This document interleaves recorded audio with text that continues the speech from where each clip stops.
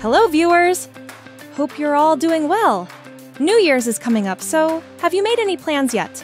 Maybe a wild night out or just chilling on the couch, binge watching movies and stuffing yourself with snacks?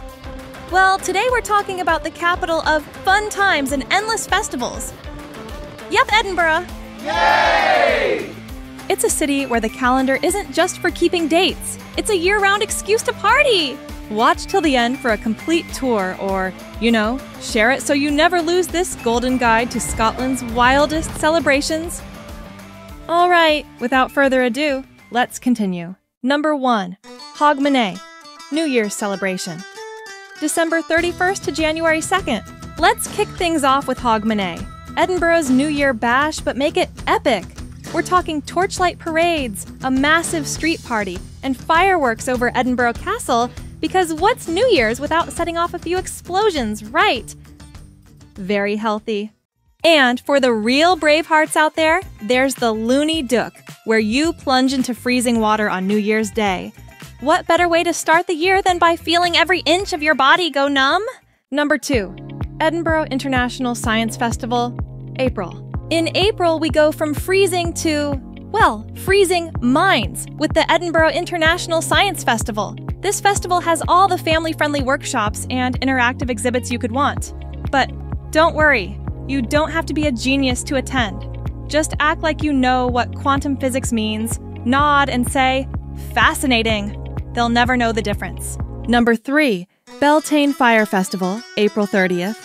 April's also home to the Beltane Fire Festival. Imagine an ancient Celtic rave on top of a hill with fire, drumming, and people dressed as mystical forest spirits. Apparently, the best way to celebrate the change of seasons is to light things on fire and dance like you're summoning a dragon. And honestly, it's amazing. Number four, August, the mega month of festival. All right, August, where do I even start? Edinburgh goes full send on festivals in August. There's a festival for literally everything you can imagine. Hey, Edinburgh International Film Festival.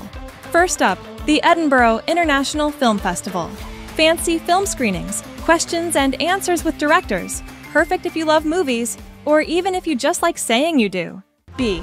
Edinburgh Festival Fringe. Next is the Fringe, the world's largest arts festival. Comedy, theater, magic. There are street performers everywhere. You might even get pulled into a show, so if you see a juggler in a tutu heading your way, run! C. The Royal Edinburgh Military Tattoo. And then we have the Royal Edinburgh Military Tattoo, where bagpipes, marching bands, and the mighty Edinburgh Castle come together for a show that could make anyone feel Scottish. D. Edinburgh International Book Festival. For the bookworms, there's the International Book Festival, where you can hear from world famous authors and feel very intellectual, even if you haven't actually read any of their books. Number 5. Christmas markets and winter festivals, November to January. And if you're thinking Edinburgh takes a break for the winter, oh, not a chance! From November to January, the city transforms into a magical winter wonderland with Christmas markets, ice skating, and a big wheel with city views. So, there you have it Edinburgh's year long festival lineup.